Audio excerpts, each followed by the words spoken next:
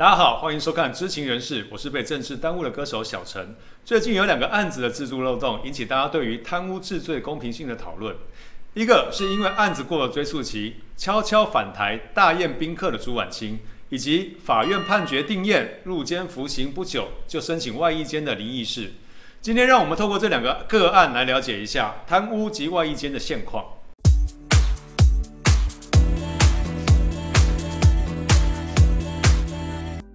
二零一六年十一月二十一日，在海外逃亡的前中央广播电台董事长朱婉清，悄悄地回到台湾，并且在庆城街豪宅内宴客。朱婉清在两千年时被指控任职央广董事期间侵占公款，十月到案说明否认犯行，检方让他以五十万元交保。也在交保的当天，朱婉清就连夜了买了头等舱的单程机票去了美国。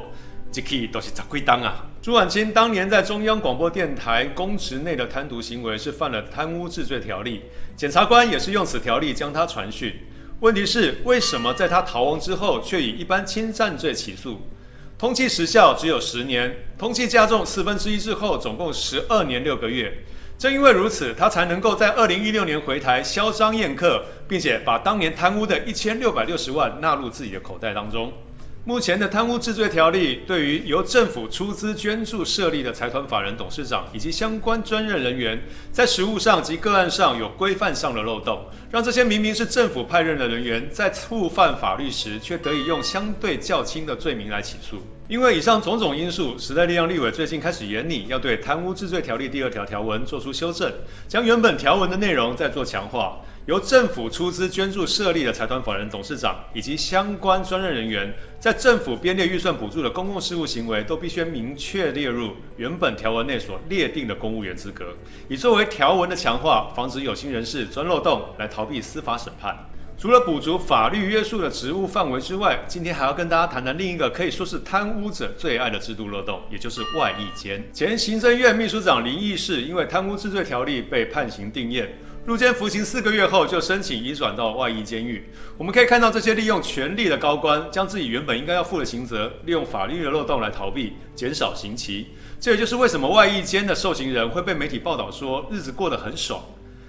工作轻松，配偶还可以来住，假日可以回家看家人，根本就是在做爽劳，而引发争议。什么是外衣间？简单来说，外衣间是一个较为开放、低度戒护的监狱类型。它没有像一般监狱那样子的高墙围绕，也不会将受刑人整日的活动限制在室内。而且外役就是指在监狱外工作，外衣间会让受刑人在没有监狱人员的监视，也没有上手铐脚镣的情况之下，在室外工作。另外，也只有外衣间的受刑人可以在国定假日。回家看家人，实务上称之为返家探亲。不同的刑期、不同累进处遇级别的受刑人，允许返家探亲的次数从三个月一次到每个月一次不等。外衣间的原意是希望让表现良好的受刑人逐步适应社会生活，但根据统计，外衣间的受刑人确实有钱有势的人比较多。以二零一七年的数字来看，一般监狱中贪污治罪条例的受刑人比例只有零点八趴，但在三个外衣间里头。贪污治罪条例的受刑人比例高达二十三点六趴，是外役监里比例最高的犯罪类型。外役监还有一个让罪犯最趋之若鹜的福利，那就是在外役监服刑可以大幅缩减刑期，最多每个月可以缩短十六日，等于你做一个月可以缩短半个月的刑期。这也就是为什么常常看到刑期未满一半的官员或政客可以出狱的荒谬景象。这跟政府反贪腐的诉求可以说是完全背道而驰。所以时代力量也在草拟修正案，要对于外衣间条例的第四条以及第十四条的条文做出修正。其中，对于第四条第三项的圈毁实据，提案修改成有具体事实，足任已承认犯行并诚心悔过，将原本比较空泛的条文说法改为比较实词的用语。另外，对于累犯不得参加外衣间遴选的规定，时代力量则是提案增加犯贪污治罪条例之罪或重大经济犯罪者，其依法应该要没收或追征的犯罪所得尚未追回者，不得参加遴选。另外，对于第十四条的条文内容，则是增加了犯贪污治罪条例之受刑人不适用之的规定，